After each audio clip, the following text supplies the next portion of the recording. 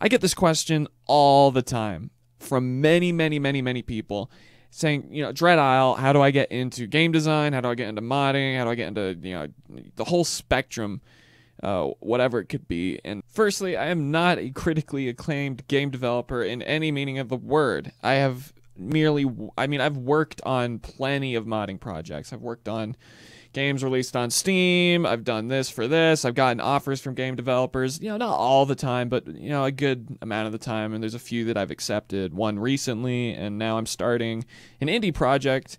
Uh, like right now, I'm in the works on that, uh, and I'll have more information for that coming up as well. But, uh, and I know the business, I know people in it, I know millionaires in the business. No, I know of, and I've spoken with millionaires in the business. I know what to do. And first of all, when you're talking about getting into game design, you need to set your level, your sights lower uh, the beginning.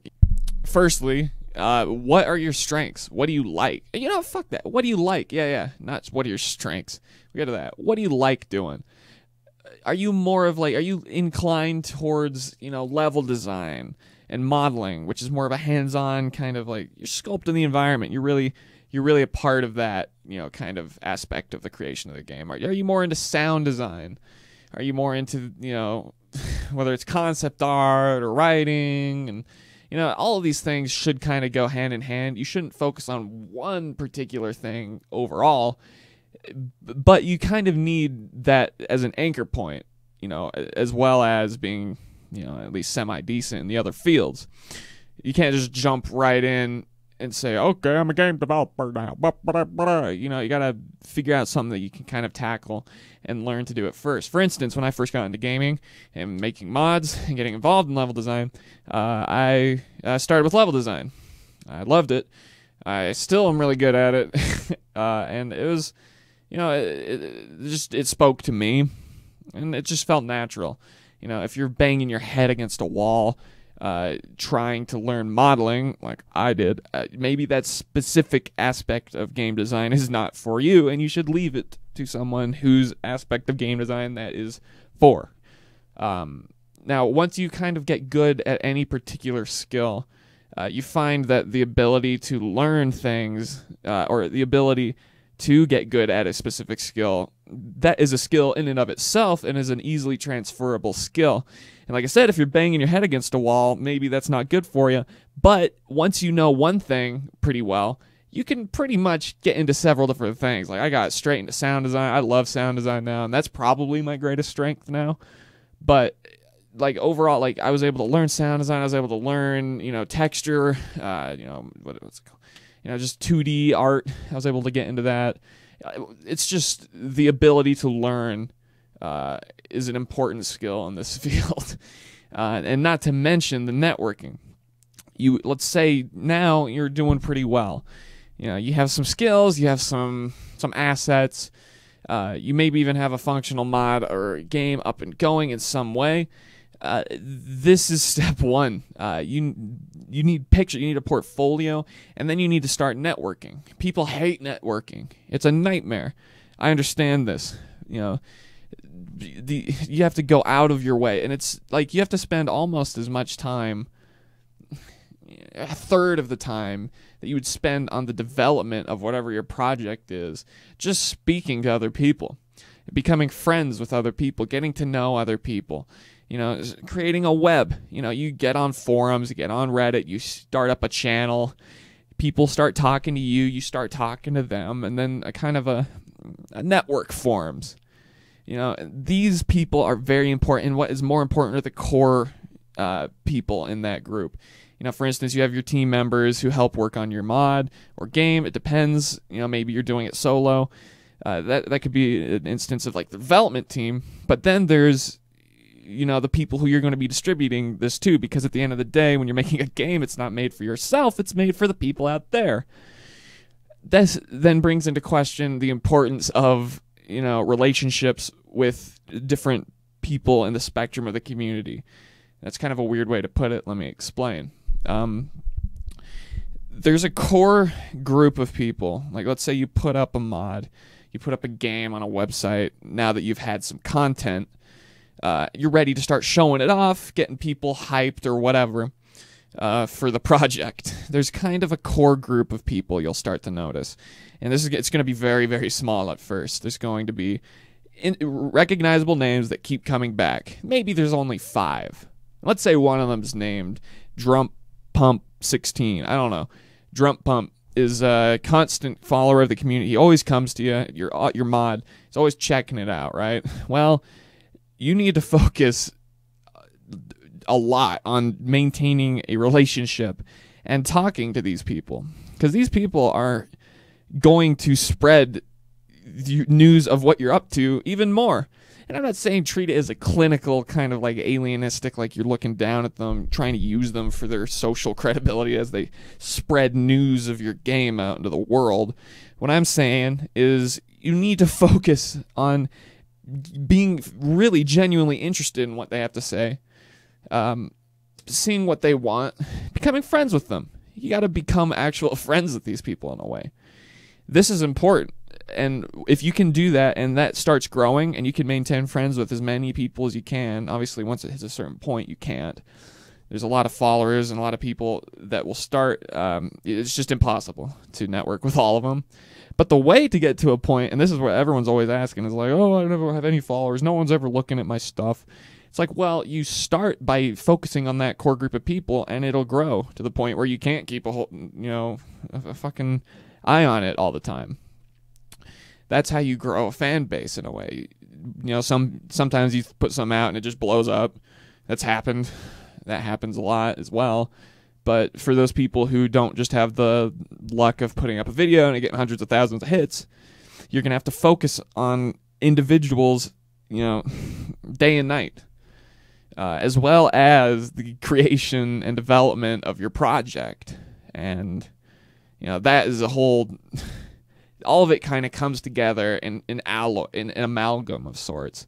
That you know, in the end, if you do it right and you focus your energies, you know, your time, your skills, everything in important uh, aspects of what or what you consider important. You know, all of it should come together as long as you're putting in the effort into something good. you know, but is, most importantly, make sure that you know that you're good because uh, I was listening to a good talk by uh, Mr. Jordan Belfort, if you've seen The Wolf of Wall Street. He's talking about the kind of like four uh, four levels of creating content, right? Um, for instance, uh, when you're first making something, let's say you're first getting into level design, you suck and you're not even going to know that you suck. I'm here to tell you right now, so you don't have to do what I did. You suck bad when you first start anything for the most part. Yeah, there's exceptions. People are good when they start, just randomly it happens. But for the most part, you suck. Let's get out of the way before the internet tells you, like they told me. And he spoke of four different levels of this. For for instance, when you're creating something, you start out unconsciously incompetent. So you're not even aware of your incompetence. You just suck. And eventually, after a bit of time, you work on it, you get better, you get better. Next thing you know, you're consciously incompetent. you're like, oh shit, I suck. I got to work on this. You know, then if you keep working on it, you keep putting in the time, you keep learning, you keep looking up these tutorials, you keep putting in every, you just keep showing up. You keep showing up and doing what you got to do. You get to the point where you're consciously competent uh, as Jordan Belfort says. Now, when you focus, and you put your mind into it, you can make something good. You're like, holy crap, I'm actually good at something. You know, like this is this map is looking good. People are responding well. This game's looking good.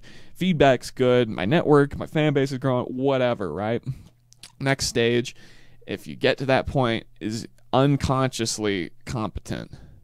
This means you don't even have to try. And in fact, this is where the whole muse thing uh, if you've heard about the Muse, it's kind of just this ethereal network of ideas that a lot of high uh, high status people like to say exists out there, where you just kind of tune in to ideas and they kind of go through you and into this. This is kind of like hippie shit, whatever. But you get to the point where you're unconsciously competent, where you just kind of tune in. You're just good at it. You know, you just don't have to think about it. And that's where the best work comes from is when you're just tuned in, right? And that it takes a lot of time. And it's not to say that you can't do it right away, but for the most part and for most people, any kind of skill, any kind of game design, video creation, filmmaking, you know, music creation, you know, whatever it is, uh, is going to take a lot of time to get good at. And people, this is the biggest hurdle, and I've hit this hurdle plenty of times, believe me, uh, is kind of overshooting what you can do. And this is kind of a good thing, you know, set your goals high and whatnot. But you can overdo it to the point where you, you're like, all right, I'm starting on a project. It's gonna get it done. It's a huge project, but you're trying to get it done in three months, and suddenly you're like, oh my god, I can't do this. Like, you get burnt out. You know, people hit a wall, or maybe you just still suck. You just hit a wall. You're like, man, I suck. I can't do this. It's a lot of work. Could kick up my feet and watch Cartoon Network. Oh my god, the you know the Beverly Hills Housewives are going on. Jimmy, get over here. Flip the TV on. Let's go. Let's watch this. It's gonna be great. You know, like there's tons of distractions. You got to know what you're capable of and kind of, and write it all out. Sit down and figure out what you're going to be doing. Write it out and tackle that. No matter what it is, finish something. All right? Finish something. Finish a map. Not a game, finish a map. Finish a four song musical score. Finish 12 texture assets. You know, finish three models. If you can do that, you can extrapolate that until you get to a point where you're capable of doing something bigger. Now I'm at a point where I'm working on a mod, uh, and I'll, I'll be releasing more information on this, but it's going to be interesting, and it's something that I can tackle, and it's going to be pretty good. uh, and I just kind of wanted to rant for a little bit. I'm not sure why, but I felt like ranting today about this because I get this question a lot. Uh, and if you're interested in keeping up with this project that's kind of under wraps that I'm talking about here, bef- you can come along this journey with me. What I'm going to do, I'm, I'm, starting to think of, is film the progress of this uh, as I go along, so you can kind of see what to do. You know, in a kind of goofy, cartoonish, reality showy, uh, tutorialistic way. You know, see how it goes. So I'm, I'm, I'm toying with this. I'm writing currently, and once I had know more about this, I'll let you know. But in the meantime, think about what this is incredibly disjointed rant. Uh, if you're interested in game design, and take it into consideration because you know, at the end of the day, it's about having fun. You got to also know what you're capable of doing and what it's going to be like because it's not all rose tinted. You know, everything's going to be great and fun and shit. Like you gotta, there's tons of aspects to something like this, and you got to be aware of it. So, thanks for watching. I don't know if you find that useful at all. I was just kind of going off, but if you are interested in seeing more, please subscribe below. Whatever the whole stupid horror shit. You know, just check out the videos on my channel. I love you guys, so I'll see you guys in the next video, whether it's a Half-Life or whatever the hell it will be. So I love you. Bye. And uh, we'll see you next time on Dredile's video. I'm Dredile's biggest fan. Y'all are plebs compared to me. Whoa.